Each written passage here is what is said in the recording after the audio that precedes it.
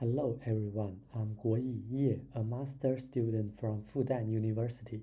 Let me briefly introduce the highlights of our research. Interface illusions, uncovering the rise of visual scams in cryptocurrency wallets. These visual scams neither require exploiting the devices vulnerabilities, nor do they require users to install compromised wallets or malicious app. The root cause of such scam is mainly the omission of vital details, such as the truncation of Ethereum addresses and the simplistic display of token symbols and function names.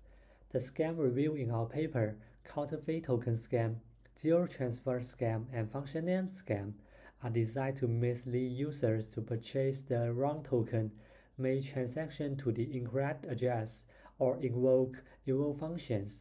This scam highlights the dilemma of balancing user-friendliness and a security-centric design within the constraints of limited GUI space.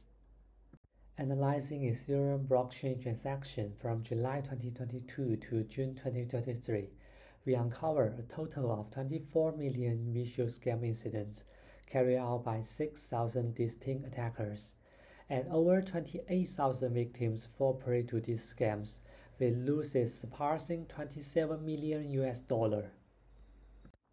We analyzed the profile of victims. Newly created accounts, particularly those within the first four months, are favored targets for attackers. 10% of function name victims were scammed more than once, indicating that even after multiple deceptions, the user remained oblivious to the scam. Correspondingly, we also analyzed the attacker profile we found certain smart contracts serving as reusable toolkits has been employed by different attackers. Some proactive attackers launch counterfeit tokens even before the genuine token ICO. The profit models of scam vary. Some accumulate small amounts, while others target large sums.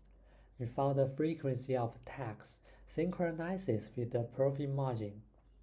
When the profit is high, attackers flooding when the course becomes deep, the attackers tend to shade their toolkit.